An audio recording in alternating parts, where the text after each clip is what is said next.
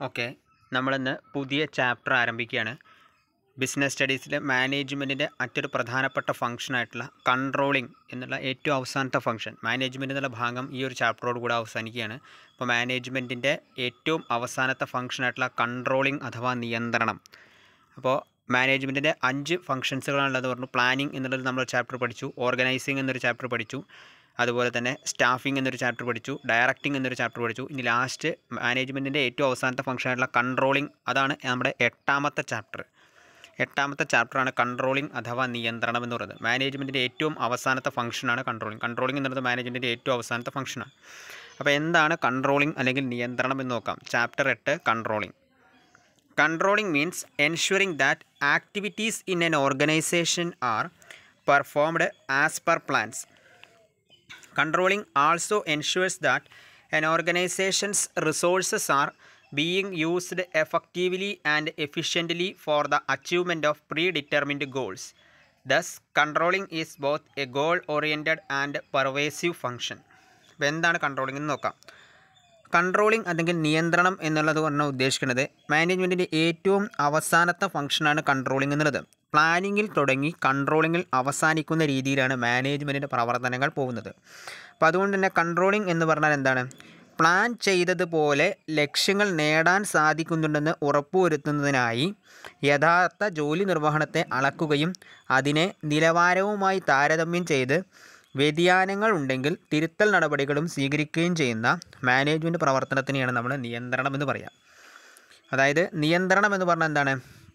നമ്മൾ already plan ചെയ്ത പ്രകാരം ലക്ഷ്യങ്ങൾ നേടാൻ സാധിക്കുന്നുണ്ട് നമുക്ക് ഉറപ്പുവരുത്തണം. അതിനുവേണ്ടി യഥാർത്ഥ ജോലി നിർവഹണത്തിന് അല്ലെങ്കിൽ ഓർഗനൈസേഷനിൽ നടക്കുന്ന ഓരോ പ്രക്രിയ അല്ലെങ്കിൽ ജോലി നിർവഹണത്തിനെ കൃത്യമായി അളക്കുകയും മുൻകൂട്ടി സെറ്റ് ചെയ്തിട്ടുള്ള ഒരു നിലവാരം അല്ലെങ്കിൽ സ്റ്റാൻഡേർഡുമായിട്ട് നമ്മളുടെ പ്രവർത്തനത്തെ താരതമ്യം ചെയ്യുകയും സ്റ്റാൻഡേർഡിൽ നിന്നും വിരുദ്ധമായിട്ട് എന്തെങ്കിലും രീതിയിലുള്ള വ്യതിയാനങ്ങൾ ഉണ്ടെങ്കിൽ അതിനാവശ്യമായിട്ടുള്ള തിരുത്തൽ നടപടികൾ അല്ലെങ്കിൽ കറക്റ്റീവ് ആക്ഷൻ എടുക്കുകയും ചെയ്യുന്ന ഒരു മാനേജ്മെന്റ് പ്രവർത്തനത്തിനെയാണ് നമ്മളെ നിയന്ത്രണം എന്ന ഫംഗ്ഷൻ കൊണ്ട് സൂചിപ്പിക്കുന്നത്. Controlling means ensuring that activities in an organisation are performed as per plan ആസൂത്രണം ചെയ്ത പ്രകാരം ഓർഗനൈസേഷനിൽ എല്ലാ പ്രവർത്തനങ്ങളും നടക്കുന്നുണ്ടെന്ന് ഉറപ്പുവരുത്തുന്ന ഒരു പ്രവർത്തനമാണ് നിയന്ത്രണം എന്ന് പറയുന്നത്. Controlling also ensures that an organisations resources are being used effectively and efficiently for the achievement of predetermined goals. മുൻകൂട്ടി തീരുമാനിച്ചിട്ടുള്ള ലക്ഷ്യങ്ങൾ സാറ്റിസ്ഫൈ ചെയ്യാൻ വേണ്ടി ഓർഗനൈസേഷനിലെ ലഭ്യമായിട്ടുള്ള റിസോഴ്സസിനെ കാര്യക്ഷമമായും ഫലപ്രദമായും ഉപയോഗിക്കുന്നുണ്ടെന്ന് ഉറപ്പുവരുത്തുന്ന ഒരു ഫംഗ്ഷൻ കൂടിയാണ് കൺട്രോളിംഗ്. അതുകൊണ്ട് കൺട്രോളിങ്ങിനെ നമുക്ക് എന്ത് പറയാം? Both a goal oriented and a pervasive function എന്ന് പറയാം. ഗോൾ ഓറിയന്റഡ് അല്ലെങ്കിൽ ലക്ഷ്യാധിഷ്ഠിതമായൊരു പ്രക്രിയയാണ്. അതോടൊപ്പം തന്നെ സർവവ്യാപിയായ ഒരു പ്രക്രിയയാണ്. പ്ലാനിങ് സർവവ്യാപിയാണെന്ന് പറഞ്ഞ പോലെ തന്നെയാണ് കൺട്രോളിംഗ് എന്നുള്ളത് സർവവ്യാപിയാണ് പ്ലാനിങ്ങിൽ തുടങ്ങി കൺട്രോളിങ്ങിൽ അവസാനിക്കുന്നതാണ് ഒരു മാനേജ്മെന്റിന്റെ ഫംഗ്ഷൻ എന്ന് പറയുന്നത്. അതുകൊണ്ട് തന്നെ കൺട്രോളിംഗ് എന്ന് പറഞ്ഞാൽ പ്ലാൻ ചെയ്ത പ്രകാരം ഓർഗനൈസേഷനിലെ എല്ലാ പ്രവർത്തനങ്ങളും നടക്കുന്നുണ്ടെന്ന് ഉറപ്പുവരുത്തുന്ന പ്രവർത്തനമാണ് കൺട്രോളിംഗ് എന്ന് പറയുന്നത്. അതായത് നമ്മൾ മുൻകൂട്ടി സെറ്റ് ചെയ്തിട്ടുള്ള ഒരു നിലവാരവുമായിട്ട് അല്ലെങ്കിൽ സ്റ്റാൻഡേർഡുമായിട്ട് നമ്മളെ യഥാർത്ഥ ജോലി നിർവഹണത്തെ താരതമ്യം ചെയ്യുകയും ആ താരതമ്യം ചെയ്തതിന്റെ ഭാഗമായിട്ട് സ്റ്റാൻഡേർഡിൽ നിന്നും വ്യതിയാനങ്ങൾ എന്തെങ്കിലും സംഭവിച്ചിട്ടുണ്ടെങ്കിൽ ആ വ്യതിയാനം എന്താണെന്ന് അളക്കുകയും അതിന്റെ ഭാഗമായിട്ട് തിരുത്തൽ നടപടികൾ സ്വീകരിക്കുകയും ചെയ്യുന്ന ഒരു മാനേജ്മെന്റ് ഫംഗ്ഷനെയാണ് നമ്മളെ കൺട്രോളിംഗ് അഥവാ നിയന്ത്രണം എന്നതുകൊണ്ട് സൂചിപ്പിക്കുന്നത്. ഇനി കൺട്രോളിങ്ങിന്റെ ഒരു ഡെഫിനിഷൻ എന്താണെന്ന് നമുക്ക് നോക്കാം. കൂൺസ് ആൻഡ് ഒഡോണൽ എന്നുള്ള രണ്ട് വ്യക്തികൾ ഡെവലപ്പ് ചെയ്തിട്ടുള്ള ഒരു ഡെഫിനേഷൻ കൺട്രോളിങ്ങിനെ കുറ്റിയിട്ടുണ്ട്. അത് പഠിക്കുക എല്ലാത്തിന്റെയും ഡെഫിനേഷൻ ഉണ്ട്. പ്ലാനിങ്ങിനും ഡെഫിനേഷൻ ഉണ്ട്. ഓർഗനൈസിങ്ങിനുണ്ട് സ്റ്റാഫിങ്ങിനുണ്ട് ഡയറക്റ്റിങ്ങിനുണ്ട് അതേപോലെ തന്നെ കൺട്രോളിങ്ങിനും ഡെഫിനേഷൻ ഉണ്ട്. ഡെഫിനേഷൻ എന്താണെന്ന് നമുക്ക് നോക്കാം. Managerial controller implies that the measurement of accomplishment of against standards and the correction of deviations to assure attainment of objectives according to plans managerial control എന്ന് പറഞ്ഞാൽ എന്താണ്? Implies the measurement of accomplishment against standards and the correction of deviations to assure attainment of objectives according to plan plan ചെയ്ത പ്രകാരമുള്ള ലക്ഷ്യങ്ങൾ നേടിയെടുക്കാൻ വേണ്ടി ഓർഗനൈസേഷനിൽ set ചെയ്തിട്ടുള്ള സ്റ്റാൻഡേർഡുകൾ അക്കംപ്ലിഷ് ചെയ്യാൻ ചെയ്യുന്നതിന് വേണ്ടിയിട്ടും നമുക്ക് നിലവിൽ ലഭ്യമായിട്ടുള്ള റിസോഴ്സസ് ഉപയോഗിച്ച് ചെയ്ത പ്രവർത്തനങ്ങളെ അല്ലെങ്കിൽ യഥാർത്ഥ ജോലി നിർവഹണത്തെ സ്റ്റാൻഡേർഡുകളുമായിട്ട് മെഷർ ചെയ്യുകയും താരതമ്യപ്പെടുത്തുകയും ആൻഡ് കറക്ഷൻ ഓഫ് ഡീവിയേഷൻസ് അതിലുണ്ടായിട്ടുള്ള ഡീവിയേഷൻസ് എന്തെങ്കിലും വ്യതിയാനങ്ങൾ ഉണ്ടായിട്ടുണ്ടെങ്കിൽ ആ ഡീവിയേഷൻസിനെ തിരുത്തുകയും ചെയ്യുന്ന ഒരു പ്രക്രിയയാണ് നമ്മൾ കൺട്രോളിംഗ് അഥവാ നിയന്ത്രണം എന്നതുകൊണ്ട് സൂചിപ്പിക്കുന്നത്. അപ്പോൾ മാനേജീരിയൽ കൺട്രോൾ എന്ന് പറഞ്ഞാൽ മെഷർമെന്റ് ഓഫ് അക്കംപ്ലിഷ്മെന്റ് യഥാർത്ഥത്തിലുള്ള മെഷർമെന്റിനെ സ്റ്റാൻഡേർഡുകളുമായിട്ട് താരതമ്യം ചെലുത്തുകയും ആ താരതമ്യ പഠനത്തിന്റെ അടിസ്ഥാനത്തിൽ ലഭ്യമായിട്ടുള്ള റിസൾട്ടിന് എന്തെങ്കിലും ഡീവിയേഷൻസ് ഉണ്ടായിട്ടുണ്ടെങ്കിൽ ഡീവിയേഷൻസ് ഉണ്ടായിട്ടുണ്ടെങ്കിൽ അതിനെ കറക്റ്റ് ചെയ്യുക അല്ലെങ്കിൽ വ്യതിയാനങ്ങളെ തിരുത്തുകയും അതിന്റെ ഭാഗമായിട്ട് ഓർഗനൈസേഷന്റെ പ്ലാനുകൾക്ക് അനുസരിച്ചിട്ടുള്ള ലക്ഷ്യങ്ങൾ നേടിയെടുക്കാൻ ഉറപ്പുവരുത്തുകയും ചെയ്യുന്ന പ്രവർത്തനമാണ് കൺട്രോളിംഗ് എന്നതുകൊണ്ട് സൂചിപ്പിക്കുന്നത്. So managerial control implies the measurement of accomplishment against standards and the correction of deviations to assure attainment of objectives according to plans next അടുത്ത് പറയാനുള്ളത് നമുക്ക് ഇമ്പോർട്ടൻസ് ഓഫ് കൺട്രോളിങ് അഥവാ നിയന്ത്രണത്തിന്റെ പ്രാധാന്യം എന്താണെന്നാണ് പറയാനുള്ളത്. എന്തൊക്കെയാണ് നിയന്ത്രണത്തിന്റെ പ്രാധാന്യം എന്ന് നോക്കാം. ഫസ്റ്റ് വൺ പറയുന്നത് അക്കംപ്ലിഷിംഗ് ഓർഗനൈസേഷണൽ ഗോൾസ് എന്ന് പറഞ്ഞാൽ എന്താണ്? സ്ഥാപനത്തിന്റെ ലക്ഷ്യങ്ങൾ സാക്ഷാത്കരിക്കുക അല്ലെങ്കിൽ സംഘടനാപരമായ ലക്ഷ്യങ്ങൾ അക്കംപ്ലിഷ് ചെയ്യുക അല്ലെങ്കിൽ നേടുക എന്നുള്ളതാണ് കൺട്രോളിങ്ങിന്റെ ആദ്യത്തെ പ്രാധാന്യം എന്ന് പറയുന്നത്. സംഘടനയുടെ ലക്ഷ്യങ്ങൾ നേടിയെടുക്കുക എന്നുള്ളതാണ് കൺട്രോളിങ്ങിന്റെ പ്രാധാന്യം. പ്ലാൻ ചെയ്ത പ്രകാരമുള്ള ആക്ടിവിറ്റികൾ കൃത്യമായി നടക്കുന്നുണ്ടെന്ന് ഉറപ്പുവരുത്തുന്ന ഫലപ്രാപ്തി ഉണ്ടെന്ന് ഉറപ്പുവരുത്തുന്ന പ്രവർത്തനമായതുകൊണ്ട് തന്നെ ഓർഗനൈസേഷന്റെ ലക്ഷ്യങ്ങൾ പ്ലാൻ ചെയ്ത പ്രകാരം നടപ്പിലാക്കുന്നുണ്ടെന്ന് ഉറപ്പുവരുത്തുന്ന ഒരു പ്രക്രിയയാണ് കൺട്രോളിംഗ് എന്ന് പറയുന്നത്. അതുകൊണ്ടാണ് നമ്മൾ എന്ത് പറയുന്നത്? അക്കംപ്ലിഷിംഗ് ദ ഓർഗനൈസേഷണൽ ഗോൾസ് ഓർഗനൈസേഷന്റെ ഗോളുകൾ അക്കംപ്ലിഷ് ചെയ്യുക അല്ലെങ്കിൽ സംഘടനാപരമായ ലക്ഷ്യങ്ങൾ നേടുക എന്നുള്ളതാണ് കൺട്രോളിങ്ങിന്റെ ആദ്യത്തെ പ്രാധാന്യം. രണ്ടാമത്തത് ജഡ്ജിങ് ആക്യുറസി ഓഫ് സ്റ്റാൻഡേർഡ്സ് മുൻകൂട്ടി സെറ്റ് ചെയ്തിട്ടുള്ള അല്ലെങ്കിൽ പ്രീ ഡിറ്റർമിൻ ചെയ്തിട്ടുള്ള സ്റ്റാൻഡേർഡുകളുടെ കൃത്യത അല്ലെങ്കിൽ നിലവാരങ്ങളുടെ കൃത്യത വിലയിരുത്തുന്ന പ്രവർത്തനമാണ് കൺട്രോളിംഗ് എന്ന് പറയുന്നത്. Judging the accuracy of standard മുൻകൂട്ടി തീരുമാനിച്ചിട്ടുള്ള അല്ലെങ്കിൽ മുൻകൂട്ടി സെറ്റ് ചെയ്തിട്ടുള്ള സ്റ്റാൻഡേർഡുകളുടെ നിലവാരങ്ങൾ അല്ലെങ്കിൽ ആക്യുറസി ജഡ്ജ് ചെയ്യുന്ന പ്രവർത്തനത്തിനെയാണ് നമ്മൾ എന്ത് പറയുന്നത്? കൺട്രോളിംഗ് എന്നതുകൊണ്ട് സൂചിപ്പിക്കുന്നത്. സോ കൺട്രോളിങ്ങിന്റെ രണ്ടാമത്തെ പ്രാധാന്യം എന്ന് പറയുന്നത് judging the accuracy of standard സ്റ്റാൻഡേർഡുകളുടെ accuracy അല്ലെങ്കിൽ നിലവാരം പെടുത്തുന്നു. അല്ലെങ്കിൽ നിലവാരങ്ങളുടെ കൃത്യത വിലയിരുത്തുന്നതിനെയാണ് നമ്മൾ കൺട്രോളിംഗ് എന്നതുകൊണ്ട് സൂചിപ്പിക്കുന്നത്. സ്റ്റാൻഡേർഡ്സ് അല്ലെങ്കിൽ നിലവാരങ്ങളുടെ ആക്യുറസി അല്ലെങ്കിൽ കൃത്യത വിലയിരുത്തുന്നതിനെയാണ് നമ്മൾ കൺട്രോളിംഗ് എന്നതുകൊണ്ട് സൂചിപ്പിക്കുന്നത്. മൂന്നാമത്തേത് making efficient use of resources അതായത് വിഭവങ്ങളുടെ ഫലപ്രദമായ വിനിയോഗം സാധ്യമാക്കുന്നു എന്നുള്ളതാണ് കൺട്രോളിങ്ങിന്റെ മറ്റൊരു പ്രാധാന്യം എന്നുള്ളത്. നമ്മുടെ കയ്യിൽ അവൈലബിൾ ആയിട്ടുള്ള റിസോഴ്സസ് കൃത്യമായിട്ട് യൂട്ടിലൈസ് ചെയ്യുന്നുണ്ടെന്നത് ഉറപ്പുവരുത്തുന്നതാണ് കൺട്രോളിങ്ങിന്റെ മൂന്നാമത്തെ പ്രാധാന്യം. So making efficient use of resources വിഭവങ്ങളെ കാര്യക്ഷമമായി ഉപയോഗിക്കാൻ അല്ലെങ്കിൽ വിഭവങ്ങളുടെ ഫലപ്രദമായ വിനിയോഗം സാധ്യമാക്കുന്നു എന്നുള്ളതാണ് ഇമ്പോർട്ടൻസ് ഓഫ് കൺട്രോളിംഗ് എന്ന് പറയുന്നത്. നാലാമത്തത് ഇംപ്രൂവിങ് എംപ്ലോയി മോട്ടിവേഷൻ അതായത് ജീവനക്കാരുടെ പ്രചോദനം മെച്ചപ്പെടുത്തുന്നു. അല്ലെങ്കിൽ ഓരോ ജീവനക്കാരനെയും പ്രചോദിപ്പിക്കുന്നതിൽ കൂടെ ഓർഗനൈസേഷന്റെ പൊതുവായ ലക്ഷ്യങ്ങൾ നേടിയെടുക്കാൻ ഹെൽപ്പ് ചെയ്യുന്നു എന്നാണ് ഉദ്ദേശിക്കുന്നത്. ഇംപ്രൂവിങ് എംപ്ലോയി മോട്ടിവേഷൻ അല്ലെങ്കിൽ ജീവനക്കാരുടെ പ്രചോദനം മെച്ചപ്പെടുത്തുന്നു എന്നുള്ളതും കൺട്രോളിങ്ങിന്റെ ഒരു പ്രാധാന്യമാണ്. അടുത്തത് അഞ്ചാമത് പറയുന്നത് എൻഷുറിങ് ഓർഡർ ആൻഡ് ഡിസിപ്ലിൻ അതായത് കൺട്രോളിംഗ് നടപ്പിലാക്കുന്നതിൽ കൂടെ സ്ഥാപനത്തിൽ കൃത്യമായിട്ടുള്ള ഒരു അച്ചടക്കവും ക്രമവും ഡെവലപ്പ് ചെയ്യാൻ ഓർഗനൈസേഷന് സാധിക്കുന്നുണ്ട്. കൃത്യമായ നിലവാര പ്രക്രിയയിൽ കൂടിയും കൃത്യമായ നിയന്ത്രണ പ്രക്രിയയിൽ കൂടിയും ഓർഡർ ആൻഡ് ഡിസിപ്ലിൻ എൻഷുർ ചെയ്യാൻ സ്ഥാപനത്തിന് ഹെൽപ്പ് ചെയ്യുന്നു എന്നുള്ളതാണ് കൺട്രോളിങ്ങിന്റെ മറ്റൊരു പ്രാധാന്യം എന്ന് പറയുന്നത്. So controlling ensures order and discipline in the organisation ഓർഗനൈസേഷനിൽ കൃത്യമായിട്ടുള്ള ഒരു അച്ചടക്കവും അതുപോലെ തന്നെ ക്രമവും ഡെവലപ്പ് ചെയ്യാൻ കൺട്രോളിംഗ് സഹായിക്കുന്നുണ്ട്. നെക്സ്റ്റ് ആറാമത് പറയുന്നത് facilitating coordination in action.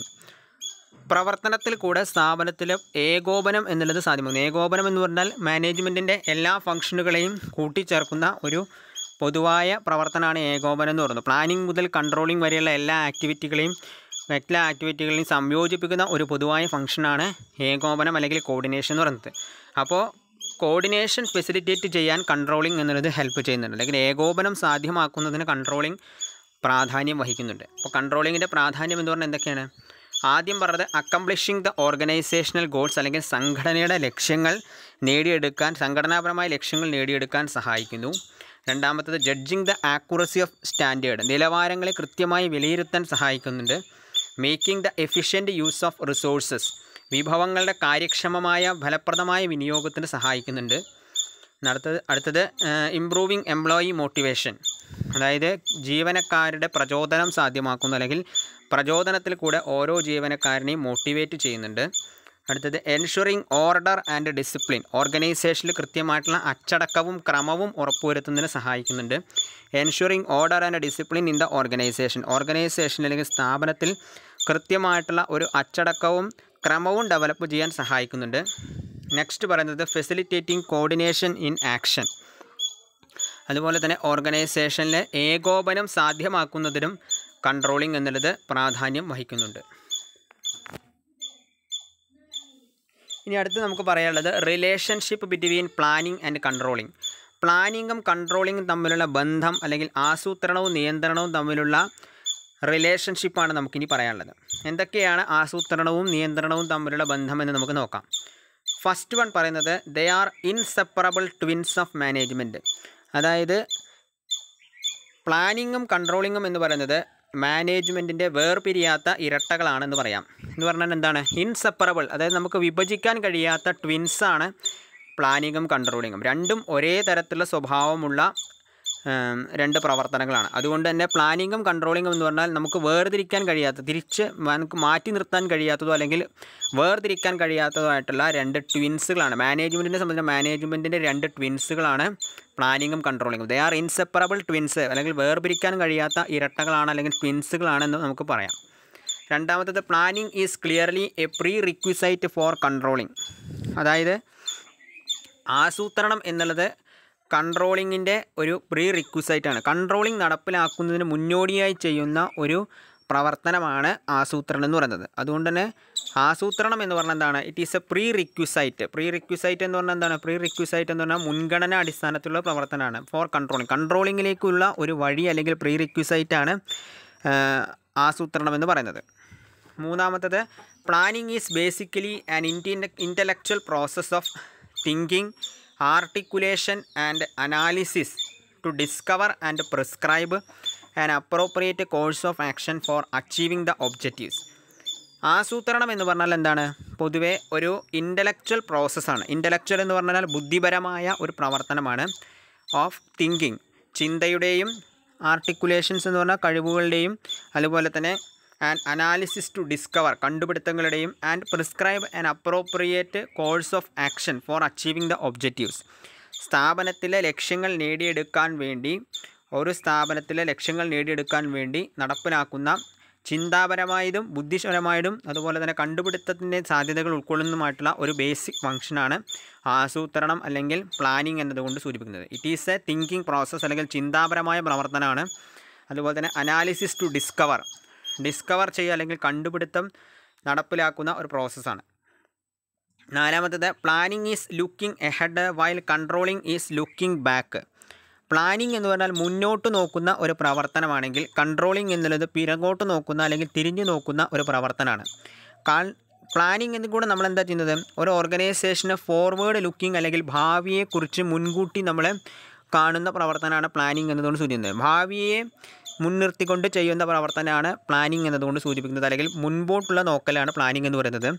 Controlling എന്ന് പറഞ്ഞാലോ? കൺട്രോളിംഗ് എന്ന് പറഞ്ഞാൽ പിറകോട്ടുള്ള നോക്കലാണ്. അല്ലെങ്കിൽ looking backward planning looking ahead ആണെന്നുണ്ടെങ്കിൽ കൺട്രോളിംഗ് എന്നുള്ളത് ലുക്കിംഗ് ബാക്ക് ആണ്. അല്ലെങ്കിൽ പിറകോട്ടുള്ള തിരിഞ്ഞു നോക്കലാണ് കൺട്രോളിംഗ് എന്നതുകൊണ്ട് സൂചിപ്പിക്കുന്നത്.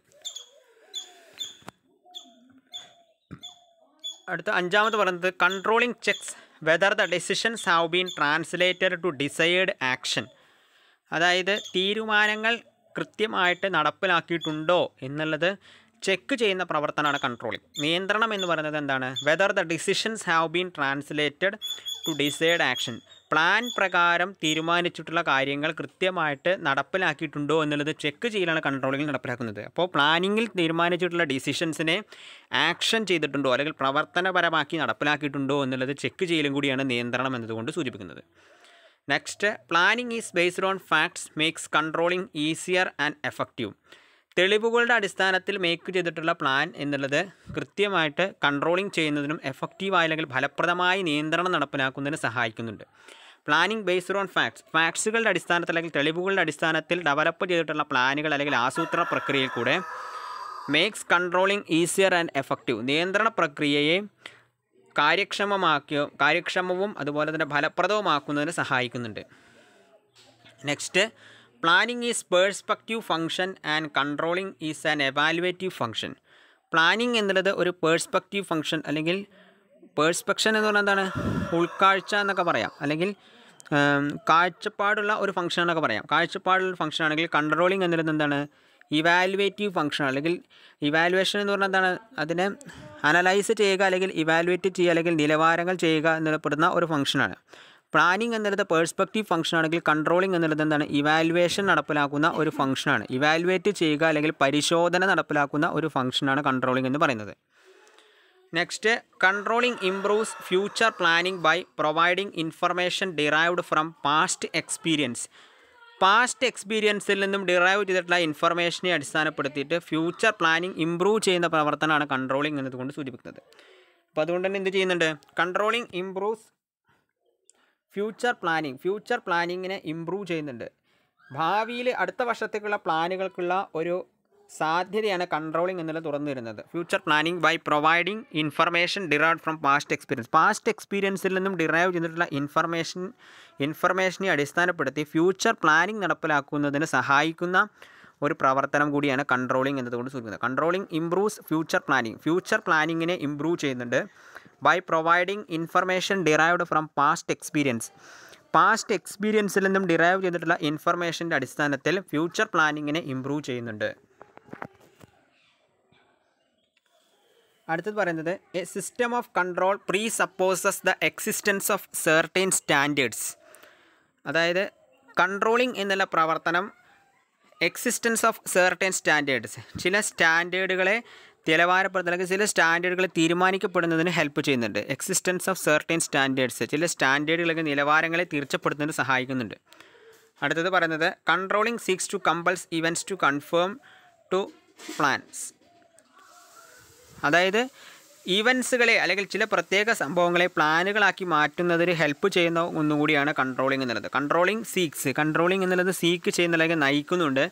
എന്തിലേക്ക്? To compels events to confirm to plans ചില പർട്ടിക്കുലർ ഇവന്റുകളെ പ്ലാൻ ചെയ്ത പ്രകാരം കൺഫേം ചെയ്യാൻ വേണ്ടിയിട്ട് കമ്പൽ ചെയ്യുന്ന ഒന്നുകൂടിയാണ് കൺട്രോളിംഗ് എന്നുള്ളത്. ലാസ്റ്റ് പറയുന്നത് planning is a forward looking function but controlling is a post mortem function കഴിഞ്ഞകാല പ്രവർത്തനങ്ങളുടെ പോസ്റ്റ്മോർട്ടം നടത്തി നിലവാരങ്ങളിൽ നിന്നും വ്യതിചലനം ഉണ്ടായിട്ടുണ്ടോ എന്ന് നോക്കുന്ന പ്രവർത്തനമാണ് നിയന്ത്രണം അഥവാ കൺട്രോളിംഗ് എന്ന് പറയുന്നത്. മറിച്ച് പ്ലാനിംഗ് എന്ന് പറഞ്ഞാൽ ഫോർവേഡ് ലുക്കിംഗ് അല്ലെങ്കിൽ മുന്നോട്ടുള്ള നോക്കലാണ് അല്ലെങ്കിൽ ഭാവിയെ മുൻനിർത്തിക്കൊണ്ടുള്ള ഒരു പ്രവർത്തനമാണ്. അപ്പോൾ ഇതാണ് പ്ലാനിങ്ങും കൺട്രോളിങ്ങും തമ്മിലുള്ള റിലേഷൻഷിപ്പ് എന്ന് പറയുന്നത്. ഇപ്പോൾ എന്തൊക്കെയാണ് പ്ലാനിങ്ങും കൺട്രോളിങ്ങും തമ്മിലുള്ള റിലേഷൻഷിപ്പ് ജസ്റ്റ് ഒന്ന് പറയാം. നിയന്ത്രണമില്ലാത്ത ആസൂത്രണം എന്ന് പറയുന്നത് അർത്ഥശൂന്യവും ആസൂത്രണമില്ലാത്ത നിയന്ത്രണം എന്ന് പറയുന്നത് വിവേകശൂന്യവുമാണ്. രണ്ടാമത്തത് ആസൂത്രണം നിയന്ത്രണത്തെ എളുപ്പമുള്ളതും ഫലപ്രദവുമാക്കി മാറ്റുന്ന പ്രവർത്തനമാണ്. മൂന്നാമത്തത് പ്ലാനുകളിലെ കുറവുകൾ നിയന്ത്രണം വഴി വെളിവാകുകയും അത് ഭാവി പ്ലാനിങ്ങിനെ സഹായിക്കുകയും ചെയ്യും. നാലാമത്തത് പ്ലാനുകൾ മുന്നോട്ട് നോക്കുന്ന പ്രവർത്തനമാണ്. എന്നാൽ നിയന്ത്രണം പിറകോട്ട് തിരിഞ്ഞു നോക്കുന്ന പ്രവർത്തനമാണ്. പിന്നെ കഴിഞ്ഞകാല പ്രവർത്തനങ്ങളുടെ പോസ്റ്റ്മോർട്ടം നടത്തി നിലവാരങ്ങളിൽ നിന്നും വ്യതിചലനം ഉണ്ടായിട്ടുണ്ടോ എന്ന് നോക്കുന്ന പ്രവർത്തനമാണ് നിയന്ത്രണം. മറിച്ച് ആസൂത്രണം എന്ന് പറഞ്ഞാൽ മുന്നോട്ട് നോക്കുന്ന അല്ലെങ്കിൽ ഭാവിയെ മുൻനിർത്തിക്കൊണ്ട് നോക്കുന്ന ഒരു പ്രവർത്തനമാണ് ആസൂത്രണമെന്ന് പറയുന്നത്. അപ്പോൾ ഇത്രയാണ് നമ്മൾ ഇന്നത്തെ ക്ലാസ്സിൽ പറയാൻ ഉദ്ദേശിക്കുന്നത്. അപ്പോൾ എന്താണ് കൺട്രോളിംഗ് എന്ന് മനസ്സിലായിട്ടുണ്ടാവും എന്ന് പ്രതീക്ഷിക്കുന്നു. കൺട്രോളിംഗ് എന്നുള്ളത് മാനേജ്മെന്റിന്റെ ഏറ്റവും അവസാനത്തെ ഫംഗ്ഷനാണ് അപ്പോൾ കൺട്രോളിംഗ് എന്ന് പറഞ്ഞാൽ എന്താണ്? കൺട്രോളിംഗ് അല്ലെങ്കിൽ നിയന്ത്രണം എന്ന് പറഞ്ഞാൽ എന്താണ്? നിയന്ത്രണം അല്ലെങ്കിൽ കൺട്രോളിംഗ് എന്ന് പറഞ്ഞാൽ പ്ലാൻ ചെയ്ത പ്രകാരം ലക്ഷ്യങ്ങൾ നേടാൻ സാധിക്കുന്നുവെന്ന് ഉറപ്പുവരുത്തുന്നതിനായി യഥാർത്ഥ ജോലി നിർവഹണം അളക്കുകയും അതിനെ നിലവാരവുമായി താരതമ്യം ചെയ്യുകയും വ്യതിയാനങ്ങൾ ഉണ്ടെങ്കിൽ അതിൽ തിരുത്തൽ നടപടികൾ സ്വീകരിക്കുകയും ചെയ്യുന്ന മാനേജ്മെന്റിന്റെ പ്രവർത്തനത്തിനെയാണ് നമ്മൾ നിയന്ത്രണം അല്ലെങ്കിൽ കൺട്രോളിംഗ് എന്നതുകൊണ്ട് സൂചിപ്പിക്കുന്നത്. എട്ടാമത്തെ ചാപ്റ്ററാണ് കൺട്രോളിംഗ് കൺട്രോളിംഗ് എന്നതുകൊണ്ട് സൂചിപ്പിക്കുന്നത്. ഇനി കൺട്രോളിംഗ് എന്ന് പറഞ്ഞപ്പോൾ എന്താണ്? അതിന്റെ ഡെഫിനിഷൻ പറഞ്ഞിട്ടുണ്ടായിരുന്നു managerial control implies the measurement of accomplishment against standards and the correction of deviations to assure attainment of objectives according to plans Koontz and O'Donnell എന്ന രണ്ട് വ്യക്തികളാണ് ഇത് പറഞ്ഞിരിക്കുന്നത്. അതിനുശേഷം നമ്മൾ ഇമ്പോർട്ടൻസ് ഓഫ് കൺട്രോളിംഗ് അല്ലെങ്കിൽ കൺട്രോളിങ്ങിന്റെ പ്രാധാന്യം പറഞ്ഞു. ഒന്ന് സംഘടനാപരമായ ലക്ഷ്യങ്ങൾ നേടുക. രണ്ട് നിലവാരങ്ങളുടെ കൃത്യത വിലയിരുത്തുക. മൂന്നാമത്തത് വിഭവങ്ങളുടെ ഫലപ്രദമായ വിനിയോഗം സാധ്യമാക്കുന്നു. നാലാമത്തത് പ്രചോദനം മെച്ചപ്പെടുത്തുന്നു. അഞ്ചാമത്തത് സ്ഥാപനത്തിൽ അച്ചടക്കവും ക്രമവും ഉറപ്പുവരുത്തുന്നു. ആറാമത്തത് ഏകോപനം സാധ്യമാക്കുന്നു. നെക്സ്റ്റ് നമ്മൾ പറഞ്ഞത് ആസൂത്രണവും നിയന്ത്രണവും തമ്മിലുള്ള ബന്ധമാണ്. എന്തൊക്കെയായിരുന്നു? നിയന്ത്രണമില്ലാത്ത ആസൂത്രണം അർത്ഥശൂന്യവും ആസൂത്രണമില്ലാത്ത നിയന്ത്രണം വിവേകശൂന്യവുമാണ്. ആസൂത്രണം നിയന്ത്രണത്തെ എളുപ്പമുള്ളതും ഫലപ്രദവുമാക്കുന്നു. പ്ലാനുകളിലെ കുറവുകൾ നിയന്ത്രണം വഴി വെളിവാകുകയും അത് ഭാവി പ്ലാനിങ്ങിനെ സഹായിക്കുകയും ചെയ്യും. പ്ലാനുകൾ മുന്നോട്ട് നോക്കുന്ന പ്രവർത്തനമാണ്. എന്നാൽ നിയന്ത്രണം പിറകോട്ട് തിരിഞ്ഞു നോക്കുന്ന പ്രവർത്തനമാണ്. കഴിഞ്ഞകാല പ്രവർത്തനങ്ങളുടെ പോസ്റ്റ്മോർട്ടം നടത്തി നിലവാരങ്ങളിൽ നിന്നും വ്യതിചലനം ഉണ്ടായിട്ടുണ്ടോ എന്ന് നോക്കുന്ന പ്രവർത്തനമാണ് നിയന്ത്രണം എന്ന് പറയുന്നത്. അപ്പോൾ ഇത്രയാണ് നമ്മൾ ഇന്നത്തെ ക്ലാസ്സിൽ പറയുന്നത്. അപ്പോൾ കൺട്രോളിങ് എന്താണെന്നും അതിന്റെ പ്രാധാന്യം എന്താണെന്നും ആസൂത്രണവും നിയന്ത്രണവും അല്ലെങ്കിൽ പ്ലാനിങ്ങും കൺട്രോളിങ്ങും തമ്മിലുള്ള റിലേഷൻഷിപ്പുമാണ് പറഞ്ഞിരിക്കുന്നത്. അപ്പോൾ ഈ ഭാഗത്തിന്റെ വീഡിയോ എല്ലാവരും കാണുക. Okay thank